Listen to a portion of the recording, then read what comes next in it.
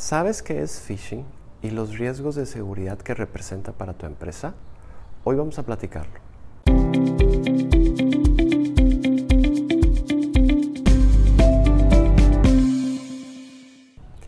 Hola, soy Jorge Gómez de Bioxnet y hoy vamos a hablar de phishing y los riesgos importantes que tiene para tu empresa. Si aún no te has suscrito al canal, te invito a que lo hagas, dale clic, dale clic a la campanita y mantente al tanto de todos nuestros videos. ¿Qué es phishing? Phishing es una táctica que atenta contra tu empresa y tus colaboradores. Viene en forma de páginas web falsas, correos falsos o incluso mensajes SMS que recibes en tu celular. Lo que están buscando es que tú accedas a esos links que vienen ahí para que el hacker pueda obtener tu información o ingresar a tu equipo de cómputo. El phishing es un intento de fraude. ¿Cómo funciona? Tú puedes recibir un correo de, tu, de un supuesto banco, de un proveedor, eh, de servicios como teléfono, luz, incluso del SAT, donde se te indica que tu cuenta ha sido bloqueada, donde tienes una deuda o tienes algún problema. La forma de resolver el problema, supuesto, es dándole clic a esa liga. Puedes recibir un correo que tu cuenta está saturada y tienes que desbloquearla accediendo y dando clic.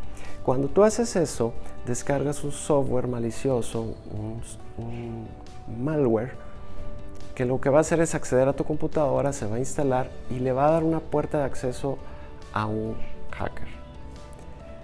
Lo mejor que te puede pasar es que te roben tu usuario y tu contraseña y que alguien del otro lado del mundo empiece a mandar correos desde tu cuenta.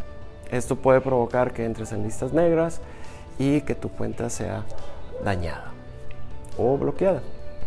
En el peor de los casos, un ataque de phishing lo que va a hacer es que se instale un software que va a tomar tu computadora, lo que se llama un ransomware, y van a bloquear tus datos y te van a pedir dinero a cambio.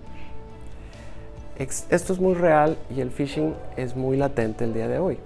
Lo que tú tienes que hacer es nunca abrir este tipo de correos, sobre todo cuando no conoces al destinatario, cuando viene una liga que te está invitando a que hagas una de estas cosas que estamos platicando. Y siempre cuando tú pones tu, cursor, tu mouse encima de la liga, los sistemas de correo electrónico abajo te van a decir hacia dónde está apuntando esa liga. Si viene de un banco, verás que esa liga no, no manda a tu banco lo mejor es borrar el correo y comunicarte con tu banco. Borrar el correo y comunicarte con tu proveedor. Si vas a entrar a un portal de banco o a un, portal de servicios, tú teclea la dirección en tu browser, nunca utilices estas ligas que suelen ser fraudulentas. Este es un tema de todos los días que requiere una cultura de seguridad con todos tus colaboradores haciendo conciencia de cuidar las contraseñas, de cuidar eh, los correos que abres y desde luego las ligas a las, a las que accedes. También necesitas un antivirus en tu equipo de cómputo. Y no solamente eso, un anti-malware en tu equipo, ya que muchos de estos troyanos no los detecta el antivirus tradicional. El anti-malware es una capa adicional de seguridad en todos tus equipos. Como verás, el phishing es una amenaza real y latente y tienes que atenderla en tu organización. Si te gustó este video, dale like, suscríbete y síguenos en nuestras redes sociales.